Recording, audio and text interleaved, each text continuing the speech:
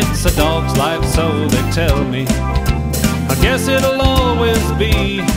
Cause I'm a big gray dog who eats like a hog. Well, at least my eats are free. Oh, but this year it's gonna be different. My stomach'll have to wait. Cause when Santa gets the gist of my Christmas list, he's gonna bring me something great. I don't want no bones for Christmas. I want an electric guitar. Don't bring me rubber balls, give me an old Les Paul. I could be a superstar. I don't want no bones for Christmas. Just forget